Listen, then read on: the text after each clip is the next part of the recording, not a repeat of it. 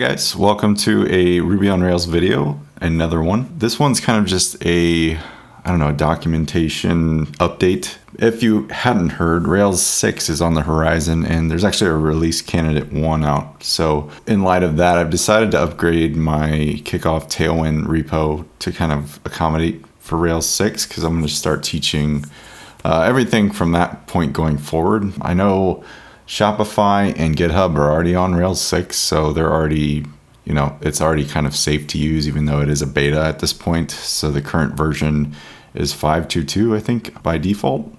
So if you wanted to install the, the current version of the Edge release, so 5.2.3 is the actual version, sorry.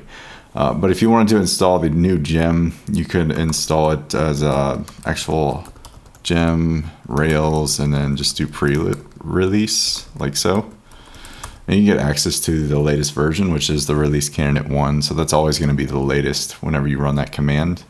Uh, i've already done that on my system but i wanted to just kind of point you to what you would do in that scenario if you wanted to run this on your system. Uh, you might have conflicts where you have an older version of rails within your ruby environment and you might need to either remove that old version or just update to this newest newest one for it to be the, the latest that your applications when you run a new application it would point to. So rails new is what i mean. So uh, in light of that like i said i updated the kickoff repo. If you haven't heard of it this is kind of just a a way to pass a template when you run a new rails app that configures a lot of things by default if you want it to. Um, mine's pretty lightweight compared to uh, other ones out there which i'll get into uh, which is something else I've been working on with some friends. So, with that in mind, I kind of just going to walk through what changed. Um, by default, Rails 6 ships with Webpacker now, which is kind of the way to run modern JavaScript in a Rails app. And that means I could kind of get rid of a lot of stuff that I put in this main template when I first created it, uh, maybe I don't even know, months back but doing so, we only need a handful of gems. Devise, of course, is kind of my, my go-to for authentication and whatnot. I have this one called Friendly ID that allows your URLs to update to more of a slug fashion than an actual number ID that you commonly see on a Rails app by default. And then Sidekiq, which is just great for background processing. I haven't done much on the channel for stuff like that, but we can get into that later on as I get more time. I'm working on my course behind the scenes, so I've had little time to do a lot of stuff related to this channel, but I, am trying to pump out content still, so you guys are uh, still seeing some stuff. Uh, all that said, we're still doing devise. Um, Tailwind's coming from source, and actually Tailwind's in a beta too. So I'm actually, if you look at next.tailwindcss.com, that's kind of the new version that's coming out. I've been seeing updates to this page uh, pretty much like a daily. Adam Wathan, the creator, has been updating this, and it's it's a sweet framework in my opinion. It's one I've been harnessing that I just tend to not reach for frameworks, but this one is you know it's been really fast to work with and it's very customizable, which I really like. So it's unopinionated too. So if you haven't used it, uh, I'm also using it in my course too. So all this stuff is bleeding edge at this point. So I'm kind of scared with the course because I want it to be out when the latest version of Rails is out. So I wanted to ship updates, you know, with all that going on. So you guys don't have to have all these conflicts and whatnot. But we'll see what happens there. Uh, hopefully it's seamless, but we'll see. Uh, so Tailwind, adding that, we're doing more of the node kind of things. So you can run bash commands in this template. So I'm running like yarn add the, the latest version of Tailwind making a new directory to add that in. And I'm going to run this in this video just so you guys can see what happens. And then append it to a file, importing it, configuring it, um, and then setting it up just to require the actual config and all that junk for Tailwind to work. It is a post CSS plugin, which is why we have to kind of go through leaps and bounds to get it to work there. Um, other than that, we're removing some stuff we don't need from the app, uh, like the style sheets and sidekiq stuff gets set up. So basically, we can, based on the user uh, level, if there's an admin, they'll be able to see this sidekiq path in their login. Uh, so by default, you're not an admin. You'd have to create that with Rails console uh, when you actually fire up your app. But this is set up to account for that. Foreman, if you want to use Foreman, this does come with support for that. You would have to add that gem manually. So gem install Foreman. And then Foreman's just a way to like run multiple things at once in one console, uh, as opposed to opening multiple tabs in your console and running it. So commonly with Rails, you need to run the Rails server. Then you might need Sidekiq and Redis or something running in the background. And then now we need Webpack to run in the background too, so you could fire all those up at once with just a foreman start command. It's pretty cool. Uh, but it was kind of geared more around hosting stuff on Heroku because the Procfile is kind of a Heroku thing. Um, yeah, so the ID, and then we'd run all this stuff after the bundle command. So all this stuff would be added and appended uh, after those gems are added to our stack, and you run a Rails new app. And I kind of just updated some messaging so you know when the app's complete. Why don't I run this just to give you some more context? I feel like I'm just blabbing, uh, but you need to, at this point, I, you could reference this template directly in the raw fashion and try to run it, but I did get errors because there aren't some local files set up in this path. Uh, so the best thing to do is go ahead and go to this page, clone, clone it or download it and then go into that folder and then run the next command that I'm going to run. So I'm going to go to my sites, kickoff, tailwind directory. That's the one, that's literally what you would download. It might say master. You might change that if you want. Um, so inside here is that same uh, Procfile, README, app, lib, template. It's all the stuff that's on GitHub right now. Um, this stuff does contain some basic scaffolding styling. It's nothing, nothing too wild. Uh, but if you do run a scaffold, it would be a little customized. So why don't I run a new app and we'll see what happens. So I'll say Rails new trial run. So that's the app name. And then we need to pass dash m to pass this template. So like I said, you need to be in the kickoff tailwind directory. Uh, you could rename it if you want, but you need to be within it so you can run this local file template.rb as that template.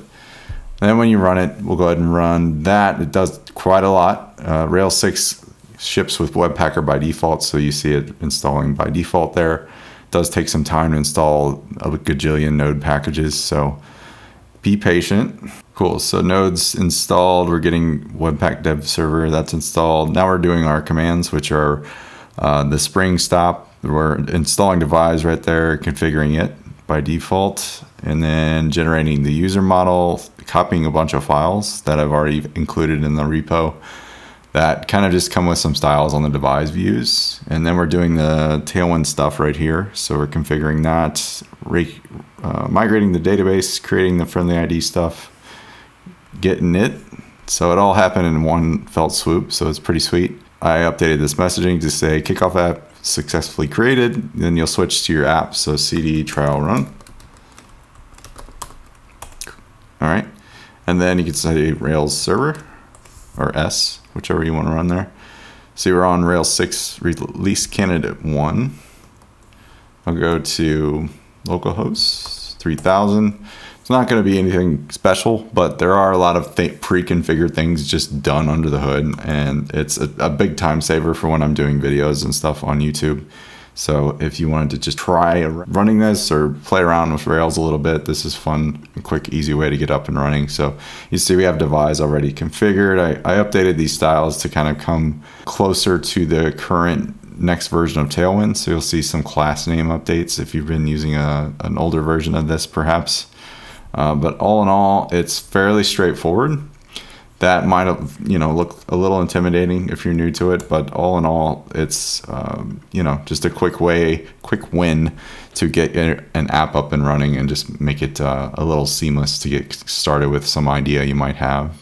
Now that being said this repo is highly inspired by a another kind of kickoff template called jumpstart from chris oliver.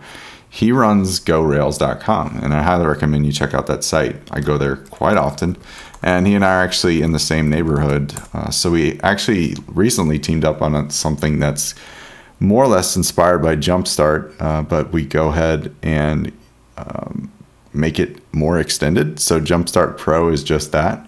So I wanted to shout, give this a shout out since he and I and Jason Charnes are working on it together. Here we are.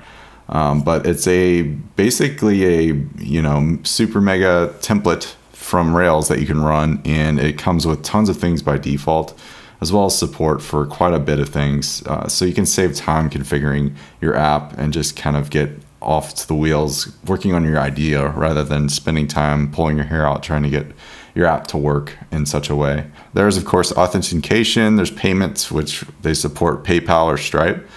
Uh, Tailwind CSS is a default.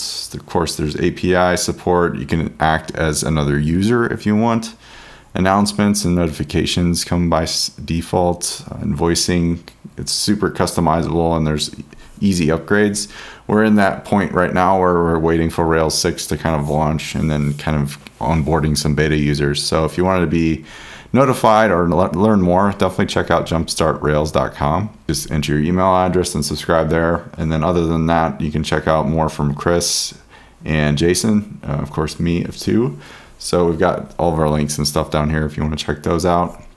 But this is what I've been working on as well as my course. So there's an entire design system I built around it for the front end, and we use Tailwind and stuff to make it look awesome.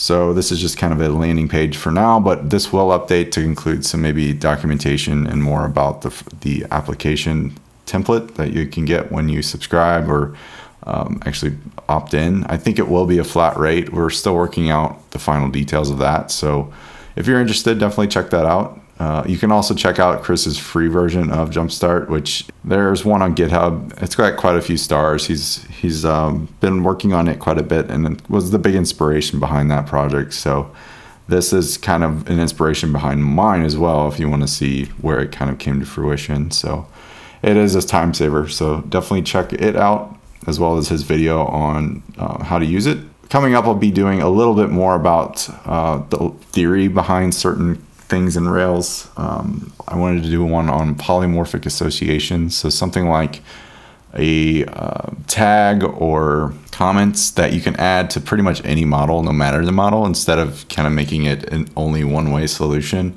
Uh, we added comments and a few series in this on my channel that kind of just only worked in that scenario. And it would have been cool if I added support where comments could have been added to anything. Uh, so that's kind of that polymorphic style that I want to get into. Amongst that, I'll probably do an, another future Let's Build that might be more on the uh, e-commerce side. I, I did get a poll on my channel recently that most of the users wanted to see something like that. So we'll see what I can do with that. There is a gem called Spree, I think that's kind of a status quo of the um, e-commerce in Rails right now. I don't know.